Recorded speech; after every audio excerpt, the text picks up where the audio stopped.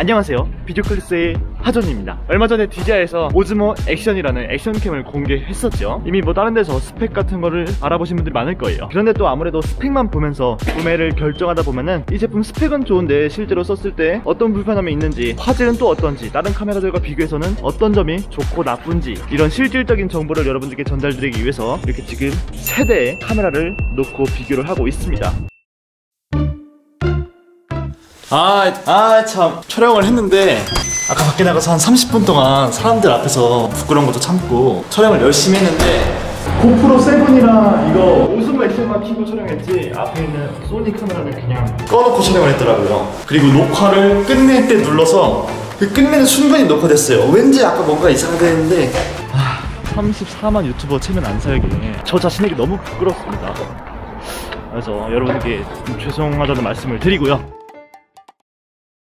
그래서 제 이야기 들으시면서 이렇게 화질도 비교해 가면서 여러분들의 구매 결정에 참고를 해보시길 바라겠습니다. 오즈모 액션의 가격은 46만원에서 1000원 깎아준 45만 9천원이에요. 그런데 여기에는 SD카드가 포함되어 있지 않습니다. 뭐 사은품 이벤트 같은 것도 하지 않아요. 고프로와 달리. 그래서 실제로 실구매가는 50만원은 안 될 거예요. SD카드 64기가로 구매해도 3만원도 안 나올 거예요. 그리고 악세사리 같은 거는 고프로 악세사리 있으셨던 분들은 그대로 쓰시면 되고 없으신 분들은 그냥 정품 말고 저렴한 거 인터넷에서 많이 있으니까 그런 거 아무거나 구해서 어차피 카메라 가벼우니까 아무거나 사도 돼요. 그런 거 해서 다 합쳐도 50만원 안 될 겁니다. 자 그래서 가격적으로 봤을 때 굉장히 경쟁력이 있는 제품이라고 말할 수 있는데 뭔가 부족한 게 있기 때문에 가격이 그렇게 정해진 게 아닐까요? 뭐 아무튼 SD카드 이야기가 나와서 그런데요. SD카드 그냥 아무거나 쓰지 마시고요. 속도가 빠른 SD카드를 써야 합니다. 권장하는 SD카드의 규격이 있으니까 그거 한번 참고해 보시고 구매를 해 보시기 바랍니다. 그래도 3만원 안 될 거예요. 그리고 액세서리들은 이게 고프로랑 완벽하게 호환이 됩니다. 100% 완벽은 아닌데 이런 마운트 하는 어, 들고 있는 거라든지 어디에 끼는 거 이런 제품들은 고프로랑 거의 호환이 되니까 뭐 오즈모 액션용 따로 구매하실 필요가 없고 적당히 뭐 고프로용을 구매하시면 됩니다. 그래서 비용적인 면에서는 굉장히 큰 메리트가 있고 액세서리에 대한 스트레스 없이 전혀 걱정 안 하셔도 될 가격이라고 생각을 합니다. 그리고 앞으로 제가 리뷰할 때마다 3장 3단을 이야기할 건데요. 1장 1단이라는 말이 있죠. 장점 1개와 단점 1개. 근데 3장 3단을 해서 장점 3개와 단점 3개를 알려드릴 거예요. 그러면 오즈모 액션의 첫 번째 장점. 일단은 4K 60프레임이 가능합니다. 4K 60프레임이 되는 카메라가 사실 생각보다 얼마 안 되거든요. 제가 알고 있기로는 액션캠 중에서는 고프로 7밖에 되지 않는 걸로 알고 있어요 소니도 안 됩니다. DSLR이나 미러리스 중에서는 어, 후지의 XT3라는 카메라 그리고 파나소닉의 GH5 정도만 되는 걸로 알고 있어요. 4K 60프레임 된다는 건요 굉장히 좋은 화질을 유지하면서도 슬로우 모션을 촬영할 수 있다는 거 그게 굉장히 장점인데 아마도 전문적인 영상을 만드시는 분들에게는 정말 큰 메리트가 되는 것입니다. 하지만 일상적으로 브이로그를 촬영하시는 분들은 그렇게 메리트가 있지는 않으실 거예요. 두 번째 장점 당연하죠. selfie 스크린이 있습니다. 이거는 정말 대박이에요. 말도 안 되는 어 말이 되네요. 이제 나왔으니까. 아무튼 옛날부터 제가 고프로에 selfie 스크린이 들어가면 정말 대박이겠다 생각을 했는데 그거를 DJI가 해냈네요. 좀 이따 말씀드리겠지만 이게 selfie 스크린 동작하는 방식이 아 눈이 못 들어갔어요. selfie 스크린 동작하는 방식이 조금 불편하기는 합니다만 그래도 존재한다는 게 어딥니까? 굉장히 좋아요 그리고 이 제품에 대해서 그렇게 잘 알지 못하시는 경우에는 아마 제품의 셀피 스크린 화면을 보고 어 정사각형 화면이라 좀 잘려 보이네. 별로다. 왜 옆에는 안 나오지? 이렇게 생각하실 수 있는데요. 그거 모드 바꾸면은 이용하실 수 있습니다. 전체로 볼 수 있고요. 제가 지금 전체로 이렇게 잘 보고 있습니다. 그리고 마지막 장점. 바로 손떨방이 대박 좋습니다. 어 지금 한번 손떨방이 어떤 식으로 좋은지 한번 설명을 드려볼게요. 제가 여기서부터 저 끝까지 한번 어, 달려볼게요. 전속력으로. 전속력으로 하면은 제 발목이 다칠 수 있으니까 어, 적당히 달리도록 하겠습니다. 달려볼게요. 시작! 이렇게 횡단보도가 펴졌을 때는 개 위험해 개 위험해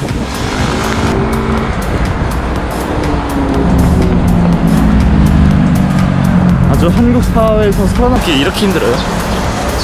어우. 목숨을 걸고 살아야 돼요, 거의.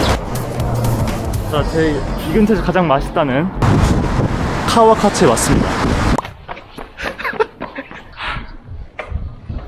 전자식 손떨방이라서 광학식보다는 조금 더 퀄리티가 안 좋다 라고 생각하시는 분들이 많이 계실 것 같은데 영상 결과물 보시면은 전혀 그렇지 않다는 것을 알 수 있어요 특히 이런 대낮인 경우에는 훨씬 더 오즈모 액션의 손떨방이 너무나도 좋습니다 이 손떨방의 이름은 락스테디인데요 이 락스테디 모드를 꺼도 손떨방이 약간은 동작을 합니다. 그리고 전자식 손떨방의 특성상 영상 원본에 비해서 훨씬 더 많은 화각이 잘립니다. 그런데 애초에 액션캠은 화각이 엄청 넓어요. 특히나 이 오즈마 액션은 그런 전자식 손떨방의 존재를 고려하고 설계해서 그런지 애초에 화각이 다른 액션캠들보다 조금 더 넓은 것 같아서 이 락스테디가 작동할 때 그렇게 화각이 막 좁다고 느껴지지가 않습니다. 아무튼 이렇게 세 가지 장점이 있었고요. 그 다음에는 단점 세 가지를 한번 말해볼까요? 첫 번째, selfie 스크린이 은근히 불편한 작동 방식을 가지고 있습니다. 어, 저는 이 카메라가 카메라를 켜면은 동시에 전면 후면 스크린이 다 켜지는 줄 알았어요. 그런데 알고 보니까 후면만 킬 것인지 아니면은 전면만 킬 것인지를 조정해서 사용을 하는 것이더라고요. 어떻게 조작하냐면 이 옆에 있는 버튼을 눌러야 되는데 뭐 거기까지는 좋습니다. 좋은데 촬영 도중에 스크린을 바꾸면요 촬영이 꺼집니다. 뭐 다시 녹화가 되긴 하는데요. 그게 뭔가 신속한 어, 촬영을 위해서는 굉장히 큰 반감 요소가 돼요.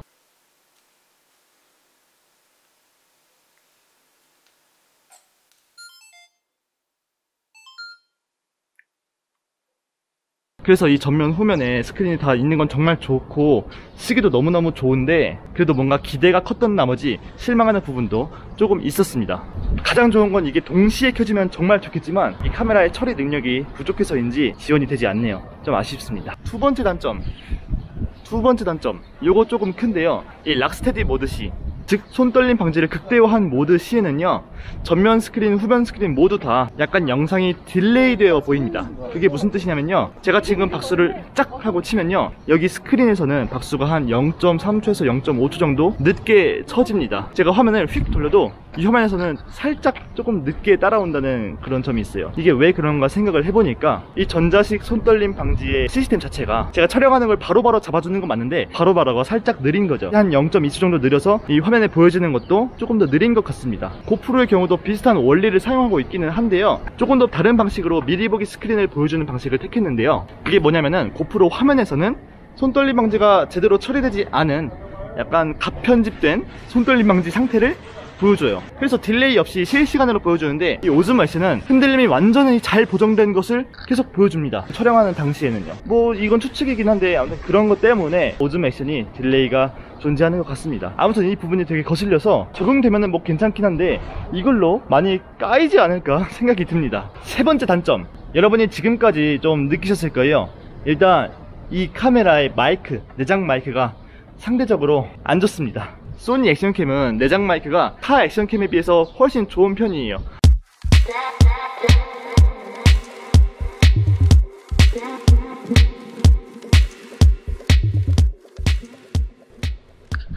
안녕하세요. 비디오 클래스의 하정입니다. 안녕하세요. 비디오 클래스의 하정입니다. 안녕하세요. 비디오 클래스의 하정입니다. 지금은 오디오 테스트와 그리고 밤에 어떻게 촬영이 되는지 테스트를 해볼 건데요. 지금 굉장히 밝은 상태죠. 하지만 이제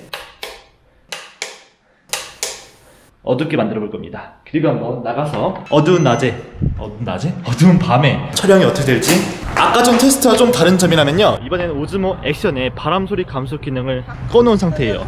그래가지고 아까는 소리가 좀 먹먹하게 들릴 수 있었어요. 근데 지금은 그렇지 않고요. 그리고 오즈모 액션에 있던 왜곡 보정 기능을 켰습니다. 그렇기 때문에 아까 전에는 얼굴이 둥그렇게 좀 나왔잖아요. 지금은 그런 현상은 많이 줄어들었을 거예요 자 그래서 야간에는 이렇게 지금 촬영이 되고 있습니다. 그런데 지금 여기 너무 어두워요. 그래서 자 그래서 야간에는 이렇게 지금 촬영이 되고 있습니다. 그런데 지금 여기 너무 어두워요. 그래서 자 그래서 야간에는 이렇게 지금 촬영이 되고 있습니다. 그런데 지금 여기 너무 어두워요. 그래서 웬만큼 어두운 곳 가지 않는다면은 영상이 적어도 이렇게 나오지 않을 거예요. 여기로 가면 진짜 어두운데 한번 가볼게요. 어, 너무 어두워서 여기는 뭐 제대로 나오지도 않을 거예요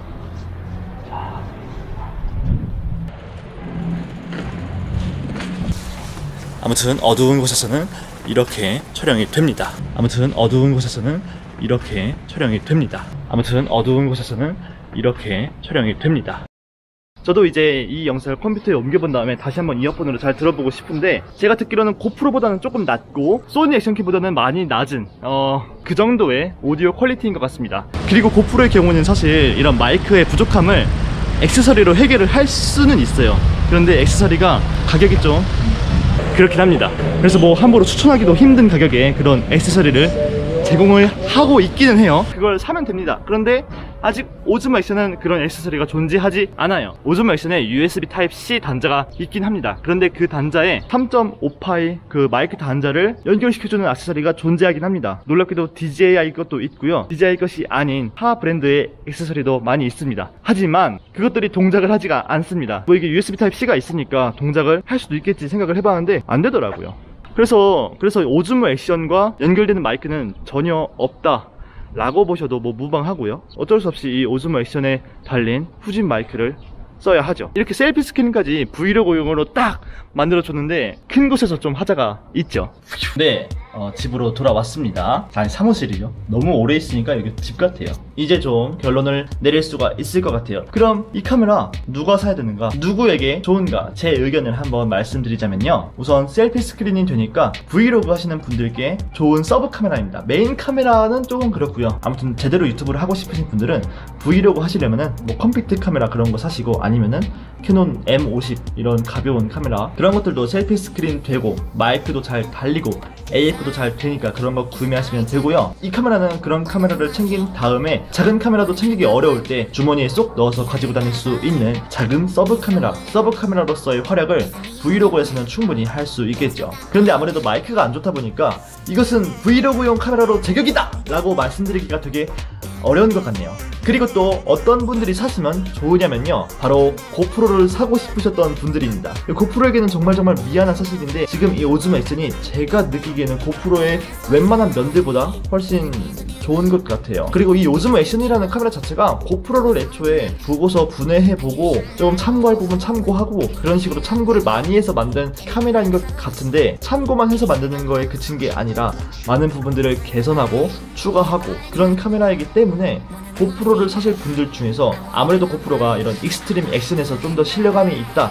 이렇게 생각하시면은 고프로 구매하시면 되고요. 그것보다 extreme 액션도 할 게 아니라 나는 그냥 간단하게 영상 좀 여행 가서 찍고 싶은데 카메라 뭐 사지? 고프로나 사야겠다라고 생각하셨던 가벼운 마음으로 고프로를 구매하시려는 분들 그런 분들은 반드시 오즈모 액션 사셔야 합니다. 이거 selfie 스크린이 됩니다. 게다가 가격도 저렴해요. 어, 무조건 사야 된다 이거는. 저는 DJI에서 돈을 한 푼도 받은 적이 없습니다. 어, 오히려 고프로에서는 저한테 카메라를 뭐 한 합치면 다섯 대 이상은 준 것 같아요. 그런데도 고프로한테 좀 미안하지만은 어쩔 수 없이 이런 카메라가 나와버렸으니까 외면할 수는 없잖아요. 고프로도 조금 더 분발해서 더욱더 좋은 카메라 빨리 만들어줬으면 좋겠습니다. 그러면 또 이제 고프로 말고 소니 X3000R을 살까? 아니면은 오즈마 X를 살까? 이것도 고민을 많이 하실 텐데요. 사실 많은 분들께서 고프로보다 이 소니의 X3000R 액션캠을 더 높이 평가하는 경향이 있는데 일단 그 이유가 얘는 광학식 손떨방을 이용하고 있어서 야간 시에도 손떨방의 화질이 굉장히 좋습니다. 그리고 지금 보이시나요? 이런 것을 기본으로 제공을 해드리고 있는데 여기 있다 보니까 얘를 이렇게 떼서 손목으로 붙이던지 막 그런 식으로 해서 모니터를 무선으로 들고 다닐 수도 있어요. 이거 굉장한 장점인데 중요한 건 이거 은근히 귀찮습니다. 얘를 켠 다음에 또 이 카메라를 켜줘야 해요. 그런데 가끔씩 둘이 연동이 잘 안 돼요. 한 10번 중에 한 번?